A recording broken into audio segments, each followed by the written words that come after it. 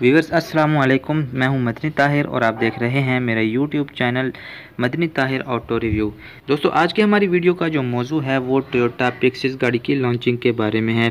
तो वीडियो की तरफ़ बढ़ने से पहले आप लोगों से रिक्वेस्ट है कि अगर आपने चैनल को सब्सक्राइब नहीं किया तो सब्सक्राइब करें और साथ ही बेल के निशान को एक्टिव ज़रूर करें, ताकि हमारी नए आने वाली वीडियोज़ का नोटिफिकेशन आप तक पहुँचता रहे। व्यूवर्स पाकिस्तान में टोयोटा कंपनी 10 लाख के बजट के अंदर जदीद फीचर्स वाली गाड़ी ला रहा है। जिसकी फ्यूल एवरेज होगी एक लीटर में 35 किलोमीटर। तो दोस्तों, मज़ीद तफसीत जानेंगे आज की इस वीडियो में। पाकिस्तान में टोयोटा कंपनी अपनी एक छोटी गाड़ी जो कि 660 सीसी के इंजन के साथ है, फ़र्स्ट टाइम पाकिस्तान में इंट्रोड्यूस करवा रहा है। दोस्तों टोयोटा कंपनी हमेशा बड़ी गाड़ियाँ बनाता है और उनकी जो कीमतें होती हैं, वो काफ़ी ज़्यादा होती हैं। तो आखिरकार टोयोटा कंपनी ने पाकिस्तान के मिडिल क्लास लोगों के लिए एक अच्छी सोच रख ही ली। दोस्तों, आप ऐसा ना समझें कि पाकिस्तान में ये गाड़ी इन फ्यूचर आएगी या आने वाली है। तो पाकिस्तान में ये गाड़ी आने वाली नहीं, बल्कि आ चुकी है। लेकिन अभी तक इस कार की बुकिंग जो है, वो स्टार्ट नहीं हुई। अब बात करते हैं इस कार की मेन कंडीशन के बारे में। तो दोस्तों 2022 के सातवें महीने में जब ये कार आपको रोड पर दिखाई देगी तो आपको इस कार में कौन से फीचर्स दिए जाएँगे?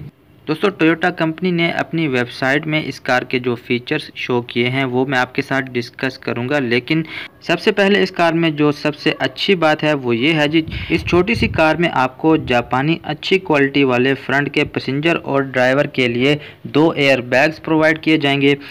इसके अलावा अगर हम इस कार की एक्सटीरियर प्रोफ़ाइल पर बात करें तो इस गाड़ी में आपको हेलोजिन्स के अंदर फ्रंट हेडलाइट्स दी जाती हैं और फोग लाइट्स भी आपको हेलोजिन लैंप्स के अंदर न्यू मॉडल में मिल जाती हैं। इसी तरह इस गाड़ी की बैक लाइट्स भी आपको हेलोजिन के अंदर प्रोवाइड की जाएँगी।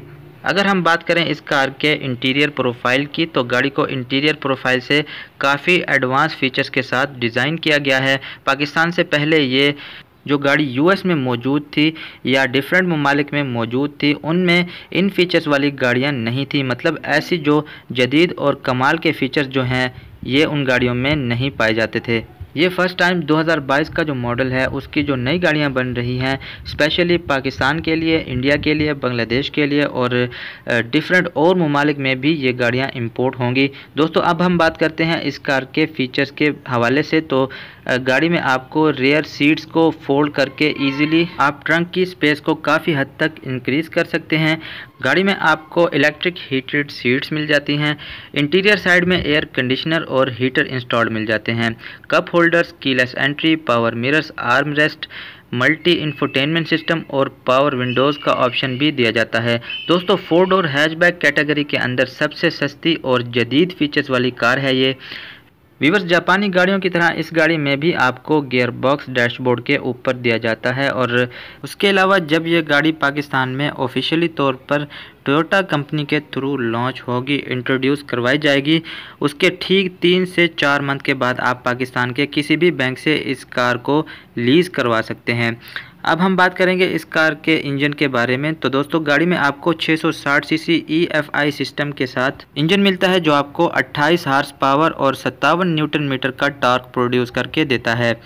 ये इंजन आपको 30 किलोमीटर पर लीटर के हिसाब से सिटी में और 35 किलोमीटर पर लीटर के हिसाब से लॉन्ग रूट पर, यानी हाईवे पर फ्यूल एवरेज प्रोड्यूस करके देता है। दोस्तों, इसके अलावा इस कार में आपको एक 28 लीटर का फ्यूल टैंक प्रोवाइड किया जाता है और यह गाड़ी पाकिस्तान में एक्सपेक्टेड है कि 10 लाख नब्बे हज़ार के राउंड अबाउट लॉन्च हो रही है। तो दोस्तों ये थी हमारी आज की एक इन्फॉर्मेटिव वीडियो अगर आपको पसंद आई तो वीडियो को लाइक करके चैनल को सब्सक्राइब करें। मिलेंगे इन एक नेक्स्ट वीडियो में एक नए टॉपिक के साथ। तब तक के लिए अल्लाह हाफिज़।